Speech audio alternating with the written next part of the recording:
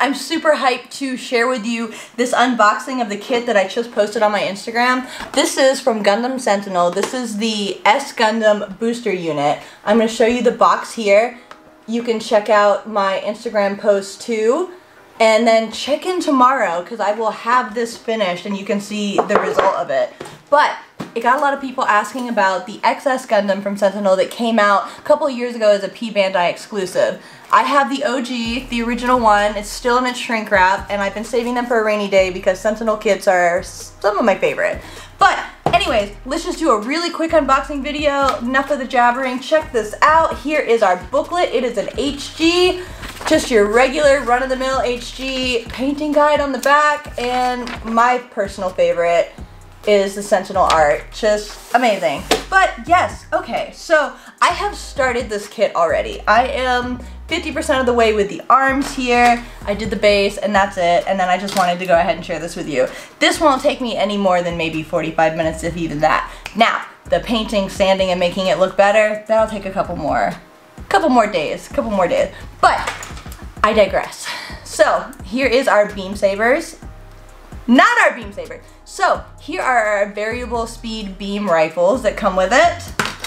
Our only runner that has colors, it is the shoulder pieces, the V-fin, the vent, everything like that, the chest.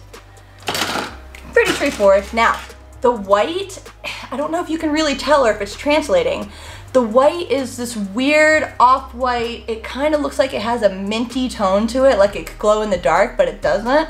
It's the weirdest thing. It is not one of the more durable plastics, it's uh, quite flimsy. You could almost, if you really wanted to and you were super delicate, you could probably break these pieces off like by hand almost nearly flawlessly. Like I'm not even kidding. Last but not least are our booster runners here, which is gonna be the main part of this kit.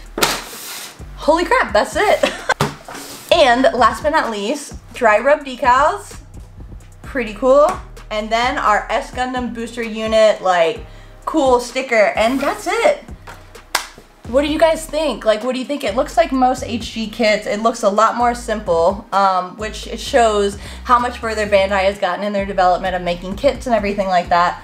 But, I don't know. I'm super excited. I think it's gonna be I think it's cute. I think it's gonna be so freaking cute um, sitting on my desk here. But I mean, like, I can't wait to paint it and do it some justice. It's, she's fragile. She's fragile. I can tell she's gonna be fragile. So do you guys have any kind of experience with older kits? Have you built this kit before? Do you know anything about this kit? Do you have any questions about this kit? Whatever it is, I am here to listen. My name is Skylar. This is Hobby Volt. Have an amazing weekend, guys. It is a holiday weekend. Stay safe. Have fun.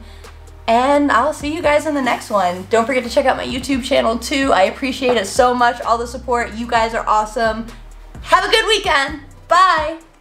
Also, you guys are making me so happy with the fact that you have all been buying the mega size model kits and sending me DMs of it.